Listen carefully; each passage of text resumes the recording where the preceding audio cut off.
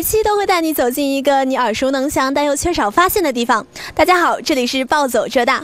本期的暴走呢，我们将带大家走进走进什么来着？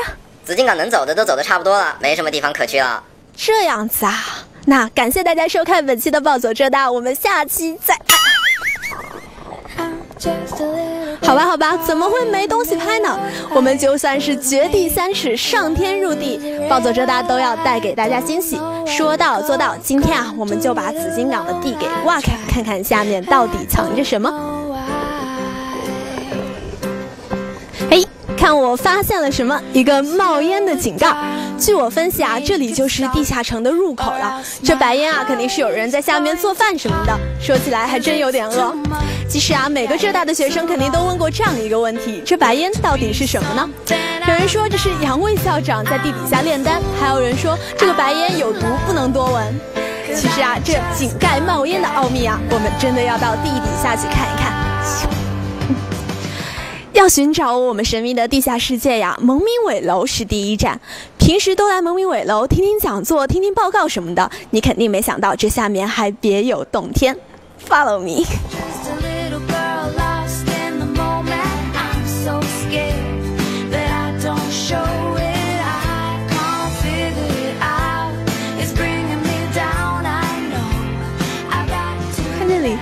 动力中心机房，机房重地，闲人莫入。这里就是我们今天要探寻的目的地啦。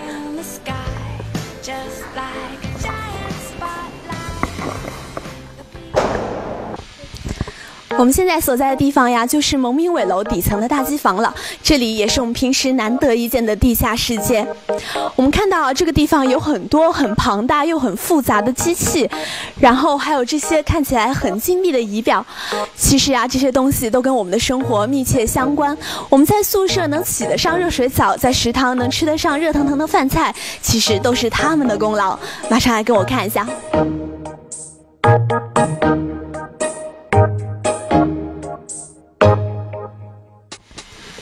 学生宿舍区的热水、食堂的热饭菜，还有教学区冬天的供暖呀，其实都是通过蒸汽来实现供暖的。所有的蒸汽在大锅炉房进行烧好之后呢，就会集中到这个大机房来进行进行调配，分别分为三路输往食堂、教学区和学生宿舍。我们可以看到这边有很多很大的阀门，这边挂着一些小牌子，就写着空调、食堂、冬校空调之类之类的。其实啊，这些管道里面输送的都是为我们提供这些热量的蒸汽了。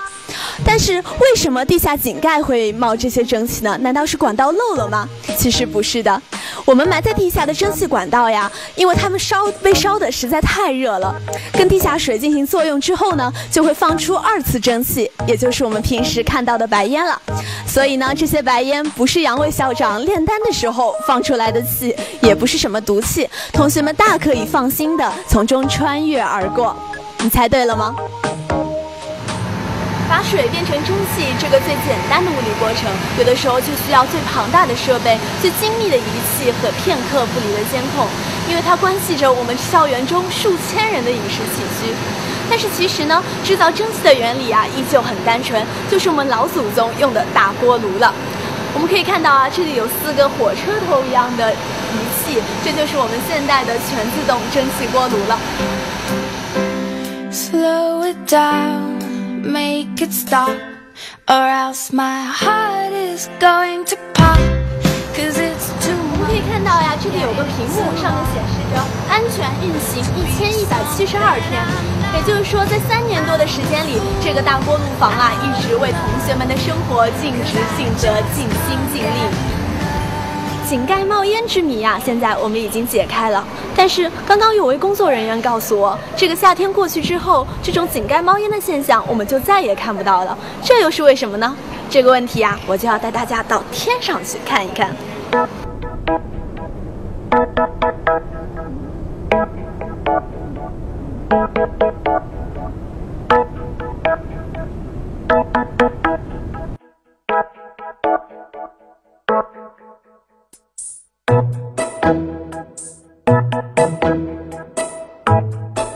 所在的地方呢，就是白沙宿舍楼的最顶层了。我们可以看到呀，这里的视野非常的宽阔，真是意想不到的好风景呢。我们也可以在这里看到啊，一些跟蒙米韦楼大机房很类似的机器，但是这些机器呢，是通过从空气当中获取能量来实行供热的，而不是通过蒸汽来供热。原来蒸汽供热呀，成本高，能效低，不利于节能减排，所以我们学校正在逐步实行改造，用这样更先进的机器来代替蒸汽供热。所以这个夏天过去之后，同学们在校园中也再也不能见到那袅袅的白烟了。这么庞大的一个校园，单单一个白沙宿舍区就有这么多的机器了，更别提还有丹青、蓝田、碧峰、东一二三四、西一二三四，该有多么庞大的一个机械王国藏在我们的脚底和头顶上呀！但是这个庞大的机械王国都被一个国王井井有条的掌管着，那就是我们的能耗监管平台。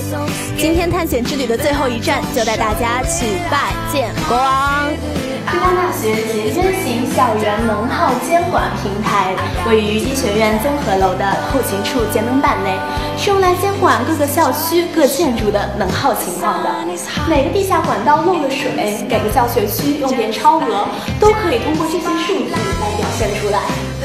可以说呀，能耗平台是我们浙大用来进行节能减排的一个风向标了。今天我们所看到的一切呢，其实都告诉我们，浙大在节能减排上投入了很多的心血。但是设备可以一再更新，技术可以一再先进，节能减排的意识却是最重要的。为了下期的暴走浙大，你能看到一个更美丽的校园，能看到更多让你难忘的景致，请马上行动，投入到绿色校园的建设中来吧。这里是暴走浙大，感谢您的收看。